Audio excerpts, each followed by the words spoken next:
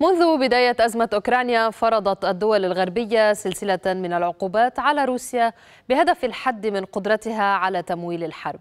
لكن مع مرور الوقت بدأت تلك الدول تعاني من تأثير العقوبات على اقتصادها نظرا للارتفاع الكبير في أسعار موارد الطاقة والمواد الغذائية. أدى الحظر الذي فرضه الغرب على موارد الطاقة الروسية إلى ارتفاعات كبيرة في أسعار النفط والغاز انعكست بدورها على أسعار السلع والخدمات وعرقل الحظر خطط أوروبا للتحول إلى الطاقة النظيفة وعادت دول عدة إلى استخدام الفحم لتوليد الطاقة الكهربائية. تبعا لزيادات أسعار الطاقة ارتفعت تكلفة الإنتاج ومعدلات التضخم ومعها زادت المخاوف من احتمال حدوث ركود.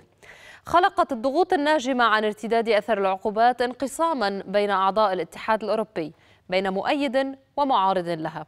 وزير خارجية هنغاريا شق عصا طاعة العقوبات وذهب إلى موسكو طالبا المزيد من الغاز. ولأن الاقتصاد هو الوجه الآخر للسياسة سرعان ما انتقلت تداعيات الوضع الاقتصادي إلى السياسة. إيطاليا هي الدولة الأحدث في سلسلة المتضررين من تردي الوضع الاقتصادي.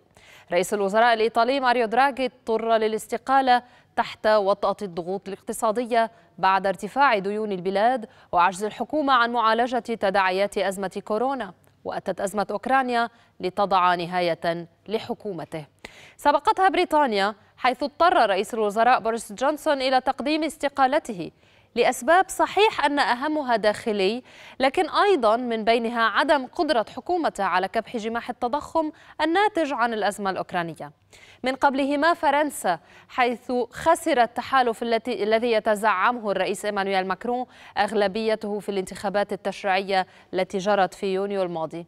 ومثل كرة الثلج يتضخم الأثر. الاقتصاد الألماني أكبر اقتصادات أوروبا بات على حافة أزمة خطيرة ويواجه شبح الركود والانهيار. وزير المالية طالب بتحرك سريع لتعويض نقص الإمدادات الروسية. وإلا فإن العديد من المصانع ستغلق أبوابها ويخسر الآلاف وظائفهم.